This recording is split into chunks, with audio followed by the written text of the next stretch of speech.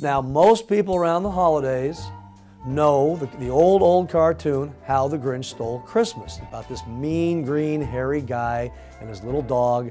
And they go down to this village of really nice people that are about to celebrate the holidays, and he steals everything. He steals their trees, their ornaments, their food, their gifts.